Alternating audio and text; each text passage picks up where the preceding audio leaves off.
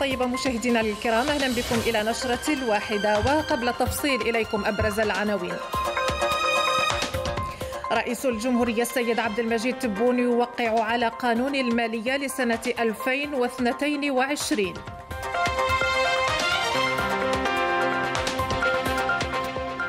الحاج محمد عبد الله بالكبير نجل الشيخ سي الحاج محمد بالكبير في ذمة الله. ورئيس الجمهورية يعزي عائلة الفقيد ومريديه ومحبيه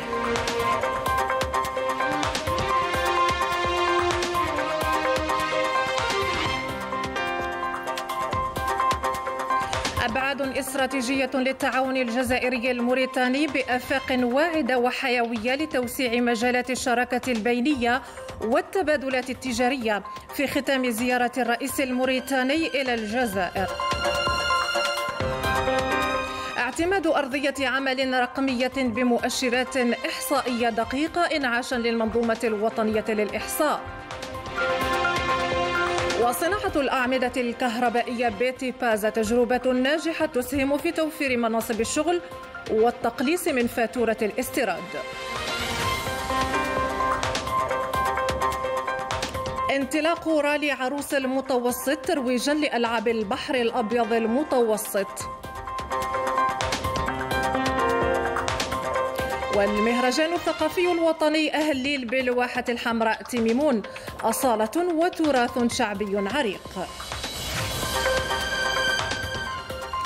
بداية وقع اليوم السيد عبد المجيد تبون رئيس الجمهورية القائد الأعلى للقوات المسلحة وزير الدفاع الوطني على قانون المالية لسنة 2022 وحضر مراسم التوقيع كل من رئيس مجلس الأمة صالح جوجيل رئيس المجلس الشعبي الوطني إبراهيم بوغالي الوزير الأول وزير المالية أيمن بن عبد الرحمن رئيس أركان الجيش الوطني الشعبي الفريق سعيد شنقريحة مدير ديوان رئاسة الجمهورية عبد العزيز خلاف الأمين العام لرئاسة الجمهورية السيد محمد الأمين مسيد بالإضافة إلى أعضاء الحكومة. وعقب مراسم التوقيع أخذ السيد رئيس الجمهورية صورة تذكارية جمعته بالطاقم الحكومي.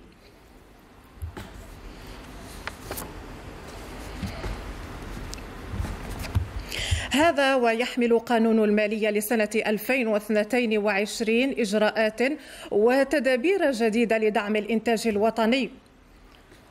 وتحفيزات لفائدة المستثمرين للمساهمة في بناء اقتصاد قوي متنوع يسهم في خلق الثروة ومناصب الشغل.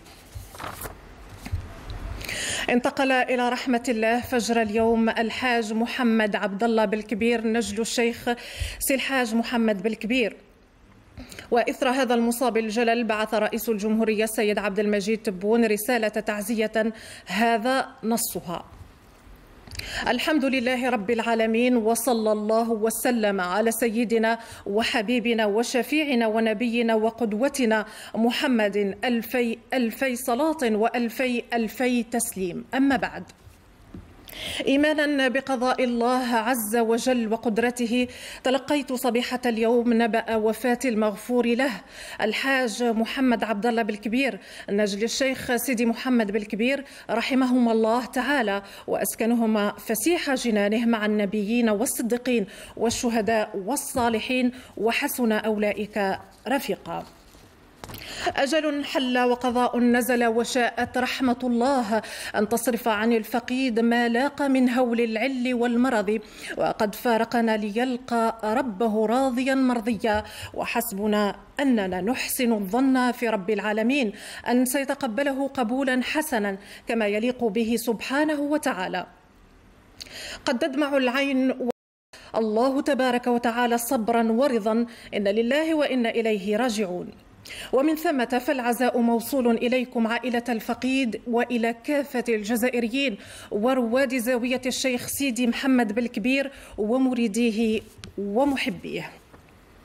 لله ما أعطى ولله ما أخذ عظم الله أجركم وأحسن عزاءكم فيما أصابكم ولا أراكم الله مكروها ولا فتنكم من بعد الفقيد وصب عليكم من شآبيب الرحمة والسلوان والحمد لله رب العالمين. في التعاون الجزائري الموريتاني حملت زيارة الرئيس الموريتاني محمد ولد الشيخ الغزواني إلى بلادنا أبعادا استراتيجية ودفعا قويا للشراكة البينية بين البلدين. الزيارة التي دامت ثلاثة أيام توجت بالتوقيع على اتفاقيات حيوية لتوسيع مجالات الشراكة والتعاون بين الجزائر وموريتانيا. المزيد في تقرير هدى روابح تجسيدا للإرادة السياسية القوية بين البلدين الشقيقين لتعزيز أطر التعاون في كافة المجالات بما يسهم في تحقيق المصلحة المتبادلة. حل بالجزائر رئيس الجمهورية الإسلامية الموريتانية محمد ولد الشيخ الغزواني في زيارة رسمية دامت ثلاثة أيام حيث خص باستقبال مميز من قبل رئيس الجمهورية السيد عبد المجيد تبون. زيارة تباحث خلالها قائدا البلدين مختلف المستجدات في المنطقة وعكست تفاهما متبادلا وتوحيدا للرؤى بين الجانبين إزاء سبل التعاون في مجمل الملفات بما يتيح مواجهة التحديات الراهنة. اتفاقية تعاون في مجال زيارة توجت بالتوقيع على عدة اتفاقيات ومذكرات تفاهم خصت كل من قطاع التعليم العالي والبحث العلمي الصحة التكوين والتعليم المهنيين والمؤسسات الصغيرة والأشغال العمومية. وسط توجه نحو إحداث تقارب اقتصادي وتجاري غير مسبوق. مكاسب أخرى تعززت بها العلاقات الجزائرية الموريتانية تتطلب توفير شروط ترقيتها وتدليل ما بقي من الصعوبات للوصول إلى التنمية المشتركة والمستدامة التي يتطلع إليها الشعبان الشقيقان. معبر حدودي أصبح جسرا للتواصل بين سكان المنطقة الحدودية يضاعف من مستوى التبادلات التجارية. ولجنة ثنائية حدودية جزائرية موريتانية تسهر على التعاون الثنائي في المناطق الحدودية وتتابع التنسيق الأمني المشترك لمحاربة الجريمة المنظمة العابرة للأوطان. إرادة كبيرة بين البلدين في بناء شراكة استراتيجية توجت أيضا بالتوقيع على مشاريع مستقبلية لإنجاز محاور طرقية دولية مهمة تمكن من الانفتاح الاقتصادي على الأسواق الإفريقية. العلاقات الجزائرية الموريتانية تنتظرها خطوة حاسمة بعد إنجاز الطريق الاستراتيجي بين تندوف الجزائرية والزويرات الموريتانية على طول قرابة 800 كيلومتر. البعد الاقتصادي تجلى أيضا في زيارة الرئيس الموريتاني إلى مجمع إنتاج اليوريا والأمونياك بوهران حيث يأمل ضيف الجزائر في تجسيد شراكة مثمرة في هذا المجال وفي مجالات الطاقات المتجددة. مشاريع هامة مشتركة يعول عليها البلدان لتغيير ملامح المنطقة بشكل كامل وفك العزلة وكذا تنشيط المبادلات التجارية والاقتصادية. وهو ما يترجم حرص الجزائر على توطيد علاقات الأخوة وتوسيع مجالات التعاون من خلال ديناميكية جديدة تعزز الشراكة لا سيما وأن الجزائر ستحتضن قريبا القمة العربية الجامعة والموحدة للصف العربي. في التعاون البرلماني استقبل اليوم رئيس المجلس الشعبي الوطني إبراهيم بوغالي رئيس لجنة العلاقات الخارجية عن الجمعية الوطنية الموريتانية المختار ولد خليفة والوفد المرافق له.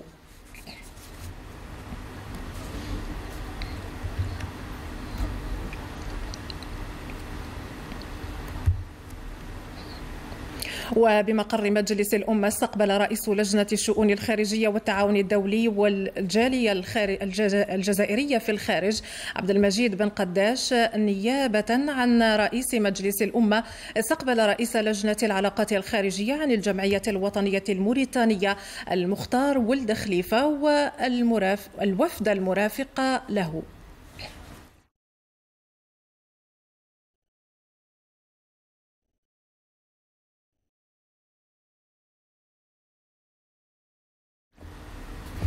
أبدى الوزير الأول وزير المالية أيمن بن عبد الرحمن ارتياحه لوتيرة أشغال بعض فروع المركب الأولمبي الجديد التي تشرف على نهايتها ومنها القاعة متعددة الرياضات والمسابح مشددا على ضرورة الالتزام بموعد الاستلام النهائي للمرافق المتبقية. المزيد مع بالمهدي بالمهل. الوزير الأول وزير المالية أيمن بن عبد الرحمن ولد زيارته لولاية وهران وقف مطولا بالمركب الرياضي الجديد الذي تحول إلى ورشة كبيرة قدر تعدادها الإجمالي ب 450 عاملا يشتغلون بنظام ثلاثة فرق ليلا ونهارا Et donc مازال la fin du mois je pense pas. Donc la fin du mois que la pose des chaises. ولا la structure تقعد هكذا؟ قاعد هكذا سي الوزير non قاعد هكذا ني واللي هذوك هذاك هذا كيتبلع هذاك راه طالع بالزجاج كامل. طالع بالزجاج كامل. هذا هو اللي قلنا نكملوا d'ici le 25 وهذا ليه les deux. les deux هذا؟ هذا وهذا. وقتها نستلموا هذا إن شاء الله. إن شاء الله ال maximum on va ici du vingt janvier إن شاء الله. الوزير غنبدلوا كل الجهود ليل ونهار إن شاء الله باش نكونوا في الموعد مازال les chaises مازال الكراسي يلحقوا. كي يلحقوا الكراسي. شحال مدة الكراسي يومين.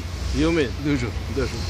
أيمن بن عبد الرحمن أكد على أدق التفاصيل المتعلقة بتاريخ وضع التجهيزات وفضاءات الاستقبال والتشديد على البعد البيئي والجمالي من خلال توسيع دائرة المساحة الخضراء والأشجار التزيينية. الوزير الأول وزير المالية كان مرفوقا في زيارته الميدانية لولاية وهران بوزير الطاقة والمناجم محمد عرقاب. الذي أعطى توضيحات عن مساهمة مصالحه في تقديم هذا المرفق في أحسن حلة. هي c'est dimensionné toujours 1.5 toujours un Parce que bah, les extensions. عندك extension, عندك les équipements. أجال التسليم النهائي حسب والي ولاية وهران سعيد سعيود لا تتعدى في مجملها شهر جونفي من السنة المقبلة. la totalité les 21 هكتار حتى نكملوها إن شاء الله. واه pratiquement راهي كامله قادر 90% نزيدوا نزيدوا شوية برك. ديروا حمله تاع سكان وهران يجيو يغرسوا كل واحد يغرس شجرة. راهم زرعوا كاع كي نديروها راه كي تجي. درك حنا رانا نشوفوا les endroits اللي ما فيهمش بزاف راه en train de densifier très bien mais pratiquement donc راه terminé ما بقاتناش حاجة كبيره سي الوزير الأول ويعد هذا المركب الرياضي الذي صمم بمواصفات عالية الجودة مفخرة للجزائر التي تستعد من خلاله لاحتضان ألعاب البحر الأبيض المتوسط في شهر جوان القادم. وفي التعاون الجزائري التونسي بحث وزير التعليم العالي والبحث العلمي عبد الباقي بن زيان مع نظيره التونسي منصف بوكتير. اللقاء الذي جرى بالمركز الدولي للمؤتمرات تناول سبل تعزيز علاقات التعاون في مجال التعليم العالي والبحث العلمي بين البلدين.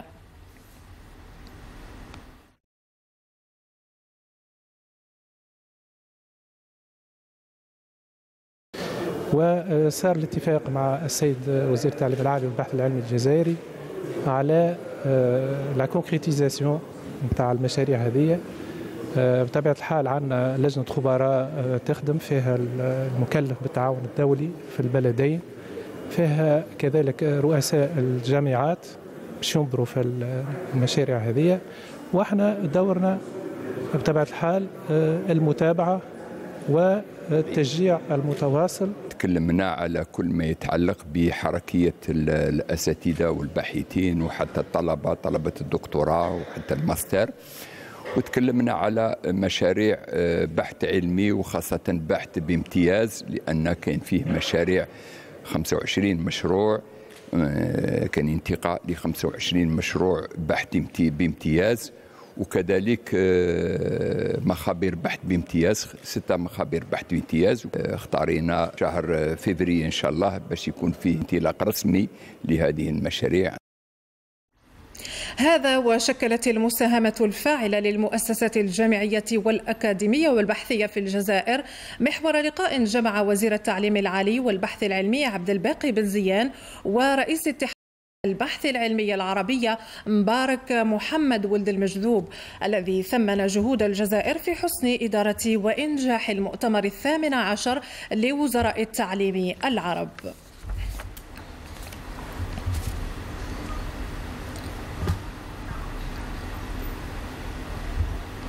وبالمدرسة العليا للإدارة أكد وزير الرقمنة والإحصائيات حسين شرحبيل على الدور الهام للمجلس الوطني للإحصاء في إنعاش المنظومة الوطنية للإحصاء وفقا لالتزامات رئيس الجمهورية.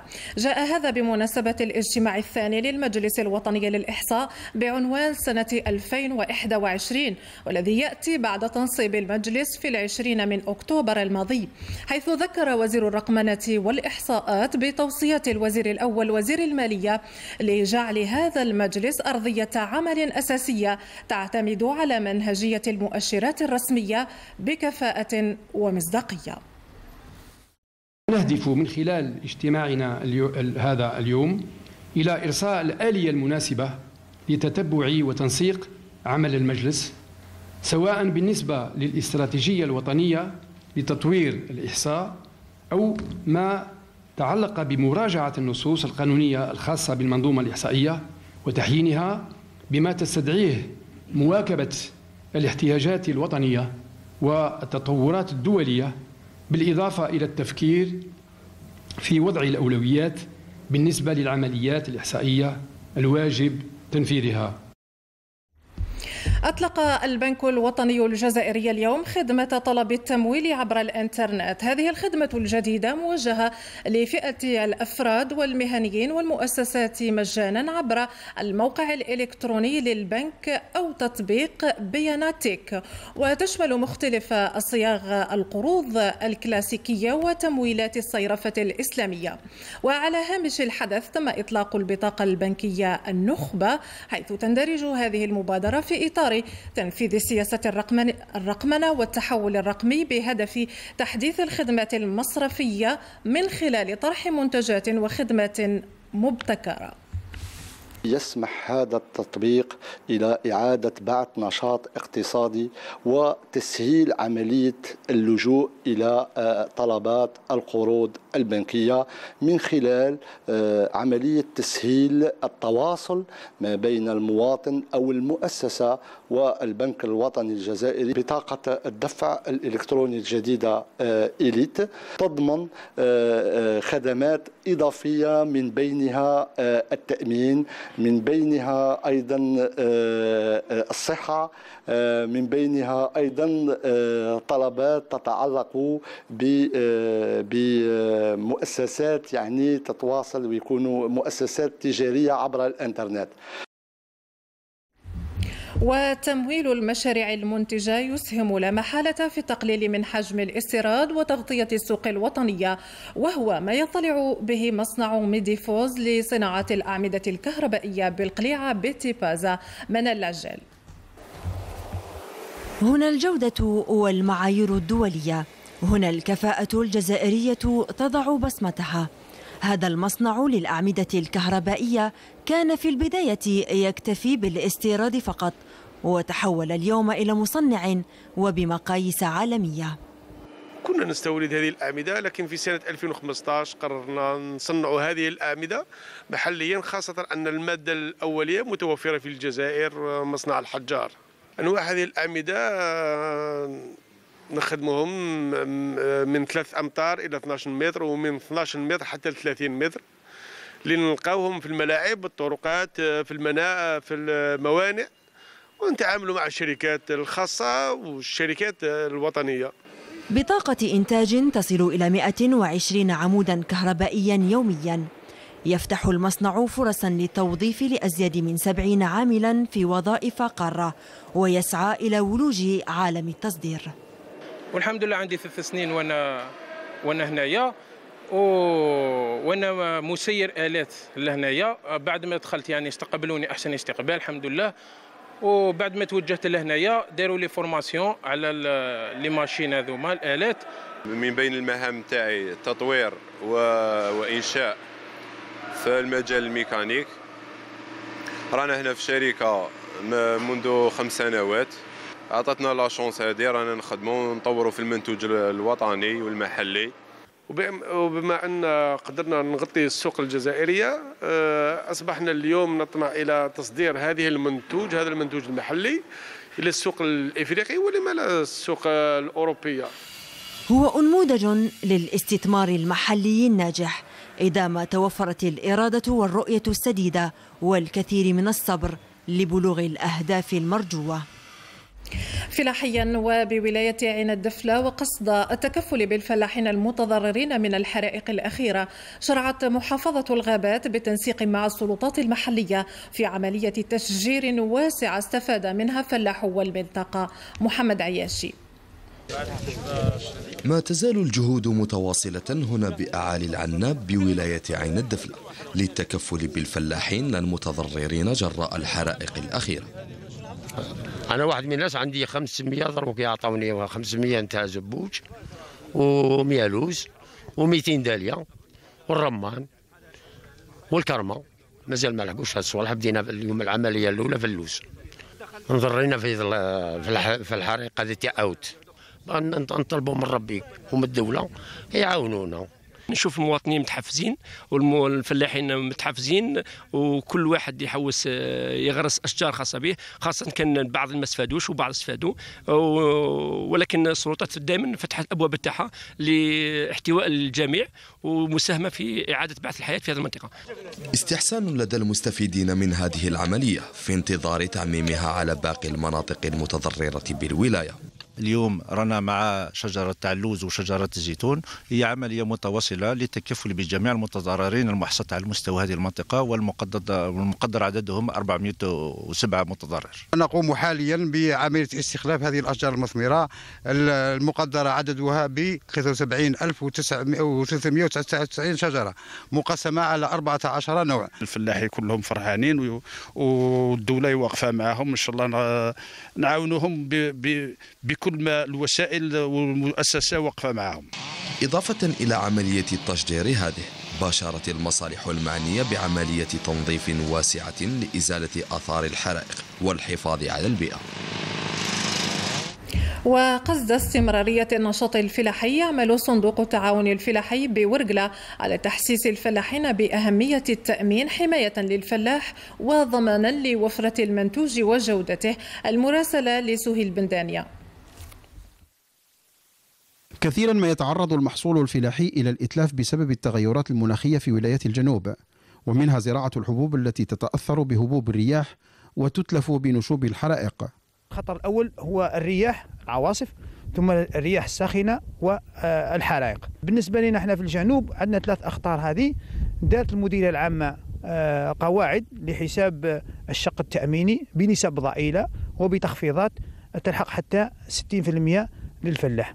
وتشجع مختلف صيغ التأمين على استمرارية النشاط الفلاحي. وكذا الدورة الإنتاجية وبتوفير التأمين يستطيع الفلاح مواجهة الصعوبات ويسهم في تحقيق المخطط الوطني للتنمية الفلاحية. الفلاح راه معرض في أي لحظة وهي كما الكوارث الطبيعية يعني راه راهم الرياح هذه بحكم المنطقة الصحراوية و تأمين شامل لازم الفلاح يأمن الفلاحة نتاعو. كاين الريح كاين ساعات تجينا الحشرات الضاره هذه. والاغلبيه الريح معناها هو اللي متعبنا في الجهة تاع ورقلة هذه. التأمين هذا هو الرفيق الأول والداعم الوحيد للفلاح والمستثمرين الفلاحيين. ومن منبر هذا ننادي ونناشد كل الفلاحين والمستثمرين الفلاحيين أنهم يتعاونوا مع الصندوق هذا السيارامه باش يأمنوا عتادهم ومزارعهم الفلاحية. وينتهج صندوق التعاون الفلاحي سياسة التوعية والتحسيس بأهمية حماية ممتلكاته الفلاحية أمام الأخطار المتوقعة لا سيما المرتبطة بالتغيرات المناخية. في إطار الحملة الوطنية حول الاستعمال الآمن والعقلاني للكهرباء والغاز نظمت ولاية بومرداس بالتنسيق مع شركة سونا الغاز والحماية المدنية أبوابا مفتوحة بهدف غرس ثقافة وقائية استباقية من مخاطر القاتل الصامت. ليندا مكي. قوافل تحسيسية جابت مختلف قرى ومداشر ولاية بومرداس في إطار الإعلام الجواري حول مخاطر الاختناقات بغاز أحاد الكربون. إحنا هنا مثال في 350 بعثوا لنا الوسمو قبل ما يطلقوا لنا الغاز حتى بعثوا لنا أنا ناجون اغيري ولا كيف تقولوا بار لا سوني غاز رحنا ليه باش عاوزنا تو ثلاث ويسري نتاع الآخر. وقالنا على l'aération هذيك تاع عند الباب منين يخرج الغاز منين يخرج. الإنسان ما آه je ne sais pas ما يلعبش بالحياة تاعو فهمت؟ le gaz de ville في الدار النعمة mais peut constituer une fatalité c'est-à-dire si on oublie الإنسان يصرح والإنسان ي prend مثال à la légère les choses.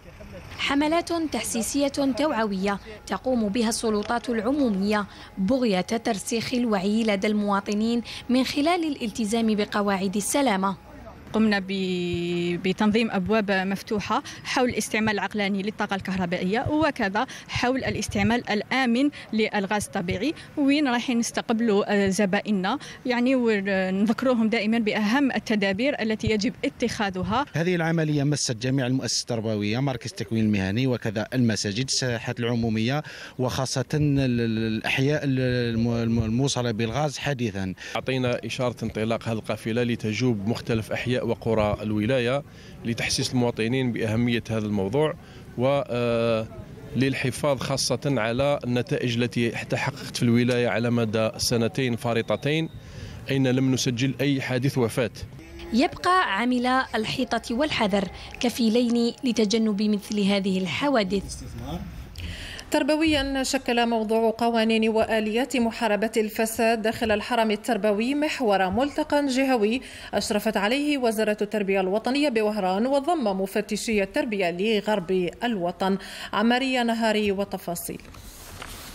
المنظومة التربوية وكيفية التسيير الإداري والمالي وترقية الأداء البداغوجي في قطاع التعليم مواضيع تم التطرق إليها في الملتقى الجهوي بوهران بعنوان الوقاية من الفساد من تنظيم وزارة التربية الوطنية. إذا هدفنا هو أنه نحمي المؤسسات التربوية من هذه الممارسات. آه، الممارسات اللي قد ربما تؤثر على على العملية التربوية البيداغوجية في جانبها المعنوي وجانبها المادي والإداري. آه، نحن نصب في إطار برنامج وزارة التربية الوطنية إلى الوصول إلى مدرسة الجودة مدرسة النوعية ملتقى ضم مفتشي الجهات الغربية للوطن بحضور المفتش العام لوزارة التربية لتحيين بعض القوانين والآليات وهذا لتحسين المنظومة التربوية. مثلا عدم القيام الموظف بعمله بإتقان يعتبر فساد كذلك. آه، الغيابات يعني المتكررة وغير مبررة للموظف ويعتبر كذلك فساد كذلك المحاباة كذلك في التوظيف يعتبر كذلك فساد. إذا آه، كذلك الغش في الامتحانات المدرسية أو المسابقات يعتبر فساد. فهذا الملتقى الجهوي يحمل عدة أبعاد ومن بين هذه الأبعاد بعدا مهنيا يهدف بالدرجة الأولى إلى الوقاية من الفساد والتحسيس به في الوسط المدرسي. تكاتف الجهود وتوزيع المهام بين المعلم الإدارة والأولياء. عامل هام لتحسين المنظومة التربوية ببلادنا. في أخبار الفن السابع انطلقت بولاية باتنا فعالية الملتقى الوطني للفيلم القصير الذي حمل شعار الفيلم يوثق للذاكرة بمشاركة 33 ولاية. طبعة هذا العام خصصت للأفلام التاريخية وستتوج في ختامها أفضل الأعمال السينمائية المحلية. يونس لك حلذيب بين الأفلام التاريخية والاجتماعية تنوعت الأعمال السمعية البصرية الشبابية وكلها توثق لتاريخ الثورة المجيدة ببصمات الشباب الجزائري. نحمل معنا فيلما اسمه عبق التاريخ. أخذنا آه، فيلم يحتوي على آه، أحداث تاريخية من تاريخ الجزائر خلال الفترة الاستعمارية. شاركنا في المهرجان الوطني للذاكرة الموثق بفيلم الشهيد هل نسامح الذي يعالج موضوع اجتماعي ومعاناة الشعوب من الاستثمار 33 فيلما مشاركا في هذه المسابقة قدموا من عديد الولايات ويتسابقون على أحسن ثلاثة أعمال. سوف تعتمد على عدة معايير لتقييمها الأفلام القصيرة سوف تعتمد على أداء التمثيل سوف تعتمد على المؤثرات الصوتية سوف تعتمد على الإخراج على معايير كثيرة هي سليمة حتى نكون آه، شبابا في الأفلام القصيرة مستقبلا. اللقاء الوطني للفيلم القصير للشباب آه، تحت شعار توثيق الذاكرة. اليوم يشارك في هذا اللقاء الوطني 33 ولاية. من الشمال إلى الجنوب من الشرق إلى الغرب. الفيلم القصير يوثق للذاكرة هو شعار الملتقى الذي اعتمد رسميا في هذه الطبعة وسيمنح الشباب الفرصة لتوثيق تاريخ الثورة المجيدة. وفي الذاكرة التاريخية أحيت جمعية مشعل الشهيد ذكرى تأسيس أول مدرسة للجيش الوطني الشعبي في ميدان الإشارة والاتصالات وهذا بالتنسيق مع مديرية الجمارك الجهوية وبحضور الأسرة الثورية والسلطات المدنية والعسكرية ببشار. جويدة بابا أحمد. محطة أخرى من محطات النضال والكفاح إبان ثورة التحرير المجيدة ذكرى إنشاء أول مدرسة لجيش التحرير الوطني في ميدان الإشارة والاتصالات. وقفت عندها جمعية مشعل شهيد ببشار بمقر المديرية الجهوية للجمارك.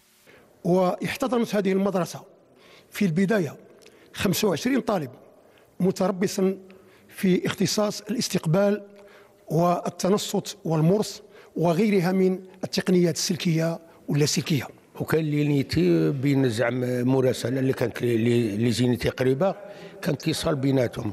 يبعثوا اتصال. مجاهد يدي قال لها واش باغي نديروا غدوة ولا واش باغي نديروا هذا اتصال. وكان ترانسميسيون.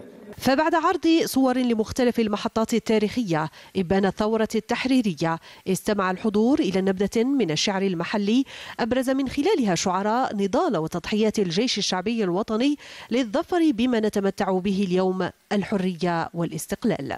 أه نقول لهم يقوموا هم اللي يشدوا المشعل ولا إحنا كبرنا الله غالب وبلادهم بلادهم مهما كانت الظروف والله ما يلقاو كما الجزائر.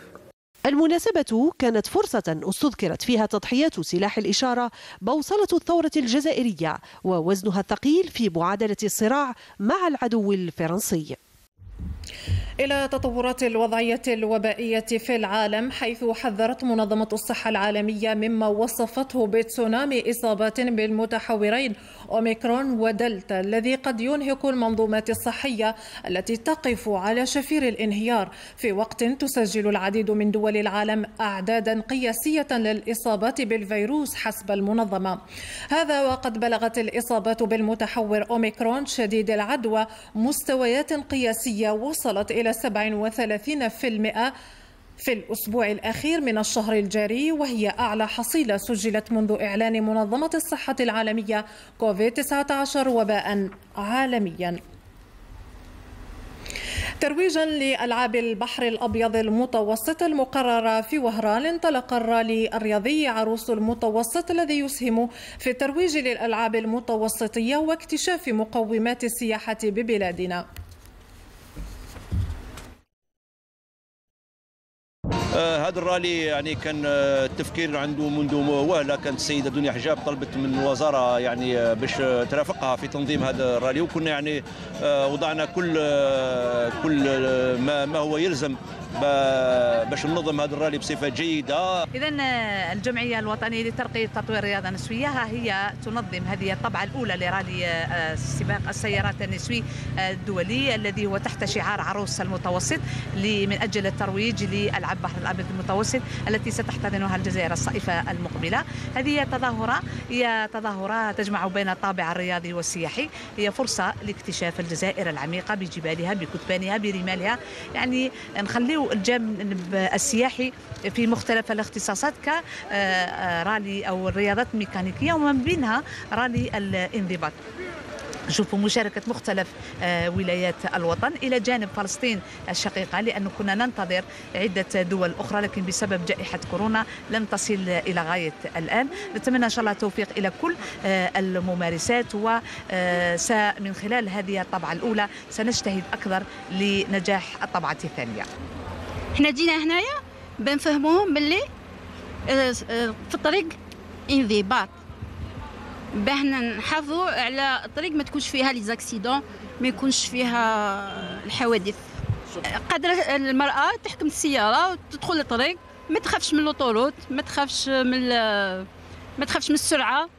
و ensuite en plus وثاني تنضبط في الطريق. bon هي ماهيش التجربة الأولى تاعي في في الرالي هذا النسوي. و كتجربة vraiment à ne pas rater زوغ chaque chaque moment في هذا الدنيا الواحد لازم ي profiter منه. حاجة كيما هكا أنا impossible نعطيها وال but تاعي première place ومن الرياضة والسياحة إلى الثقافة حيث تتواصل بدار الثقافة ملك حداد بقسنطينة فعاليات المهرجان الوطني لمسرح الطفل في طبعته السابعة عشرة بمشاركة فرق من 16 ولاية تتنافس على جائزة أحسن عرض مسرحي. المزيد مع أمينة بعطوش.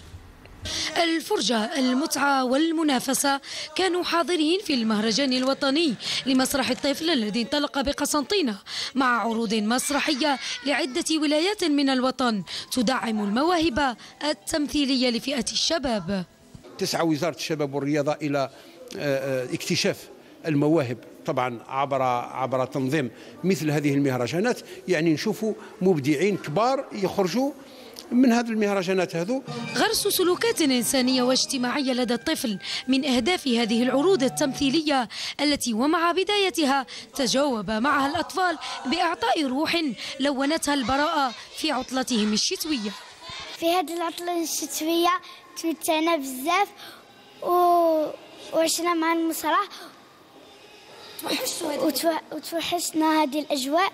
يجب علينا ندرس جي... جيدا لأن دراستها أساس للنجاح. يوم عجبتنا حال اشطحنا وغنينا. عجبني هذا المسرح كثير. أكيد الفرق المشاركة في المسابقة ستقدم أفضل ما لديها من قصص وسينوغرافيا تبدع بها من على الركح. إلا أن الأطفال وحدهم من سيصنعون الفارق بتفاعلهم المستمر ونشر البهجة في كل مكان.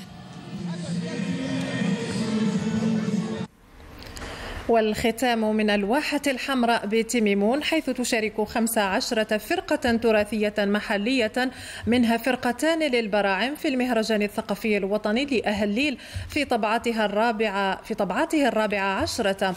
التظاهرة الثقافية التي انطلقت مساء أمس تدوم أربعة أيام. المزيد مع وهبة مزوج.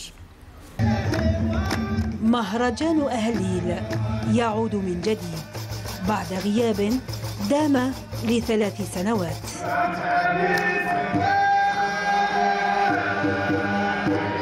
والكلام أهلا نقولوا لا كلام سيدي ربي. نغنوا عليه على الصحابة وعلى النبي محمد صلى الله عليه وسلم. هذا الليل. ونتمنى هذا الفن هذا يبقى إلى هو وماذا بينا هذا الفن يبقى للصغار أنا روحي راني فنان صغير 45 سنة. تقريبا من اللي بديت 19 سنة راني نقول أهل الليل. أهل الليل عنده الراحة.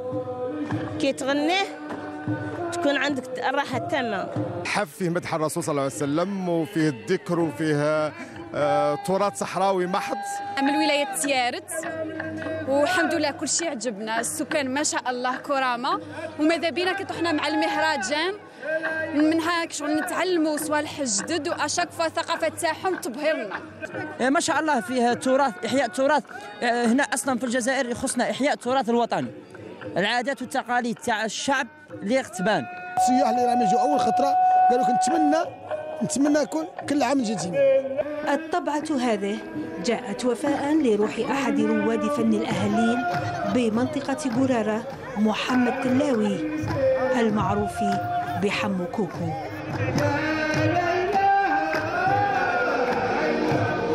عودة إن شاء الله عودة كانت ميمونة. عودة يعني فرح بها كثير ساكنة تيميمون وزائريها. يعني شفنا اليوم آه، آه، جمهور غفير. وتملأ بالمدرجات لعشقه وحبه لأن هذا التراث في الحقيقة قبل أن يكون إيحاءات وموسيقى وأداء هو سجل أو حوار يخاطب الروح. فيجد كل واحد ضالته في هذا الموروث الثقافي. أهلين أداء ديني واحتفال روحي لا يخلو من ذكر الله والصلاة على رسوله. بهذا وصلنا إلى ختام النشرة بقي أن نذكر بأبرز العناوين. رئيس الجمهورية السيد عبد المجيد تبون يوقع على قانون المالية لسنة 2022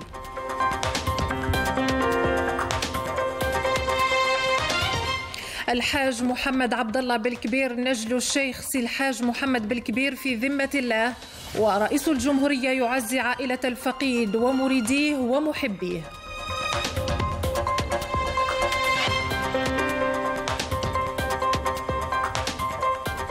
أبعاد استراتيجية للتعاون الجزائري الموريتاني بآفاق واعدة وحيوية لتوسيع مجالات الشراكة البينية والتبادلات التجارية في ختام زيارة الرئيس الموريتاني إلى الجزائر.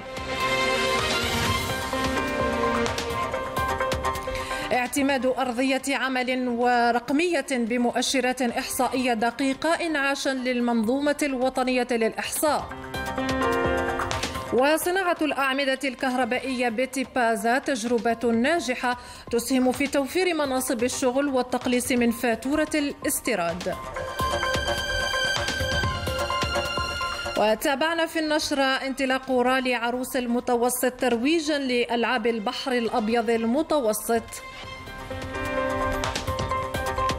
والمهرجان الثقافي الوطني أهليل بالواحة الحمراء بتيميمون أصالة وتراث شعبي عريق.